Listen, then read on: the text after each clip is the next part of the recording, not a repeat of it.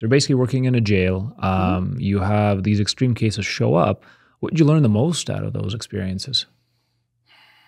Everyone is the hero in their own story. Really? Yeah, no. so even somebody, even if somebody's like killed a bunch of people, they're still the hero in their own story. if you don't believe anybody on the planet will ever have even the smallest amount of sympathy or empathy for you, then the only defense you have is to armor up and say, I'm at least better than other people because I have trace amounts of empathy and I'm capable of it. Hmm. So I'm better than all of you. So if you did anything, if you got a chance, you would do so much worse to me that, that I wouldn't do. So if me doing this is the bare minimum, I'm still better than everybody else and I can justify it and I can get away with it. This is where personality disorders really begin, really begin to form of I am still the better person because of this. Therefore, all of you owe me this. Therefore, I will take what I need to survive. And that's where antisocial personality disorder, sociopathy becomes really a problem. So what'd you do with that guy? Uh, the the story you just told. Oh, I worked extensively until we got to a place where he actually made a full confession, took ownership of what it was, sobbed his eyes out, got up and walked out, and would never look at me or speak to me ever again.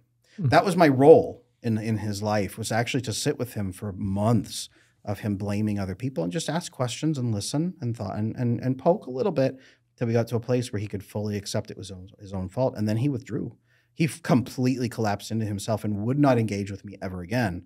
So that was my role in his life. My role wasn't to fix him on that spot; it was to get him to that place. Hmm. I hope I, I have never heard from him since, but I, I hope that somebody else stepped in at that point, or he was able to open up and connect to somebody else. That's what we call an ego collapse, and that's the only way someone with a full personality disorder is really able to change. Is they have to have an absolute total collapse of ego, which destroys them as a person. That person is dead. They are dead, and now they have to be born as a different human being. Many of them take the easy way out, quote unquote, and they're no longer in this world. But the ones who survive that gauntlet process, those are the ones we re- we see the the Ebenezer Scrooge transformation, right at Mm. the end of a Christmas Carol, the the absolute ego death leading to the birth of a new human being, and then that new person is very intentional.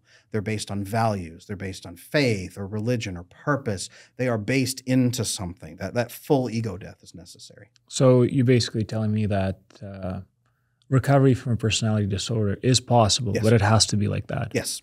So where did it even come from? Is it genetic? Is it biology? I, I don't believe that. There, there, there may be predispositions for how we can change and what we might do. Personality is, is partly fixed at birth to some extent, but i i it's all down to how does your environment treat you? How does it prime you?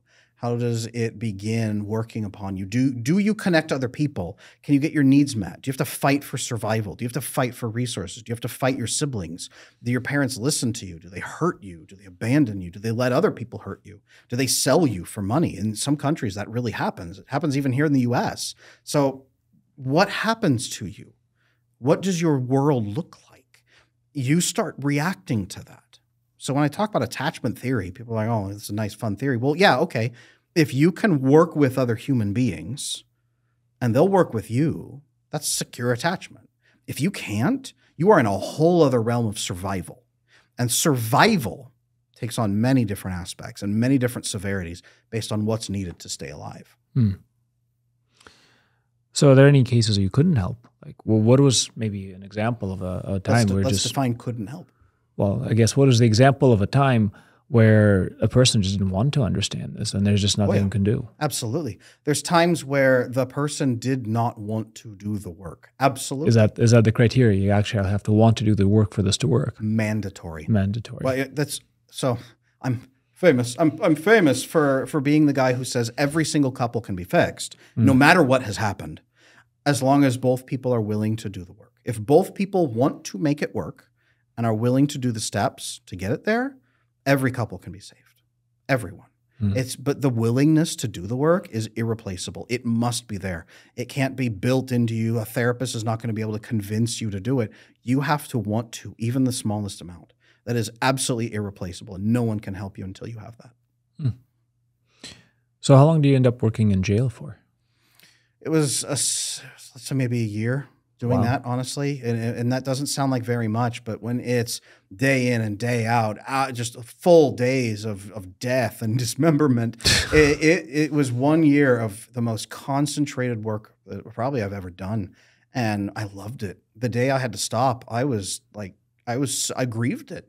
of losing that because it was so uh, such rich, Intense. fulfilling work. Yeah, intense. It was it was wonderful. If you like this clip, I know you're going to enjoy the full episode. You can watch it right here.